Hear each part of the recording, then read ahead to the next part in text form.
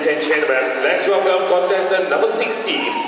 Hitomi Aki from Japan with